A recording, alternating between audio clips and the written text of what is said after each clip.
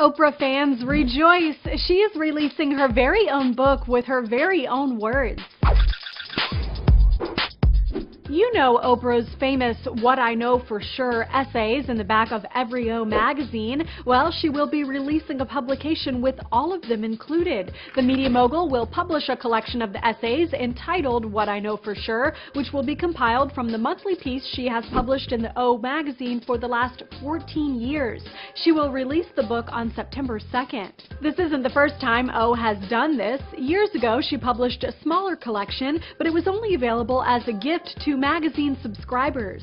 We cannot wait until this new one is released. 14 years of wisdom from our favorite talk show host. The essays will be grouped in the book by theme, with topics covered including gratitude, joy, awe, and possibility. It will, quote, offer a rare, powerful, and intimate glimpse into Oprah's inner life, her thoughts, struggles, and dreams, while providing readers a guide to becoming their best selves.